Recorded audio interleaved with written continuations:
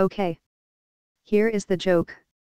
Yo mama is so poor when her friend came over to use the bathroom she said okay, choose a corner. Haha,